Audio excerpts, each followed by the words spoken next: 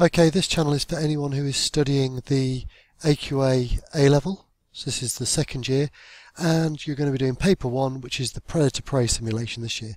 This is not for the AS that hasn't been released yet. So these videos uh, we're going to do a load of analysis of the program structure. Looks far more involved than previous years. Obviously we've got an object model to deal with so we'll look for examples of all the keywords that they'd like to examine you in what used to be section C and is now section B. Of course when we come to change the code there's going to be some validation, there always is, and my best guess is that will come from the custom game. They could do it on the XY coordinates, um, but chances are it's going to be that custom game. There's some interesting things there where you're not allowed to have more warrens than there are locations, etc.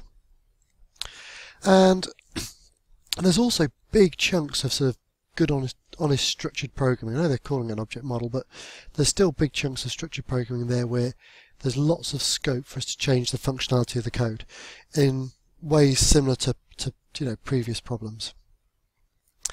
And finally, probably the most interesting in terms of the new specification is the creative new classes.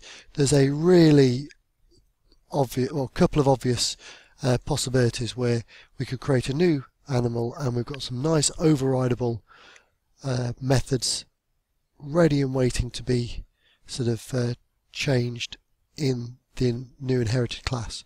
So lots of possibilities there. I reckon we're going to end up with about 10, 15 possibilities for you to play with. Crucially, I don't want this to be a one-way process. I want you to be able to feel free to um, either convert my solutions that are going to be in VB into the language of your choice. Uh, if you think that I've cocked up or you think that my solution is optimal, more than happy for you to uh, chip in. I always try and come up with solutions I think are going to be most likely to be solvable in the time that you're going to have in the exam, but I'm happy to suggest alternatives. Crucially, if you've got a solution, if you've got a problem with the code that you've spotted that I've not even mentioned that we're going to have, uh, yeah, chip in with a comment because I think the more people that we have uh, inputting into this, the more likely we are to be able to produce a set of um, tutorials that will practice you in a way that you're best prepared for this exam. Right, looking forward to this one. Looks like a really interesting uh, scenario and you'll be hearing more from me over the next few weeks.